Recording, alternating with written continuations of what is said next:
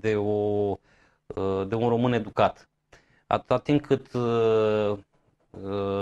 asistăm la analfabetizarea instituționalizată a noilor generații, atât timp cât vorbim de imbecilizare, de cenzură, de distrugerea identității noastre, a culturii, a trecutului, atât timp cât vorbim de excroci, de teapa Elie Wiesel, uh, care ne uh, falsifică istoria, uh, nu putem să vorbim despre un popor civilizat care poate să discearnă între oameni de valoare și borfași.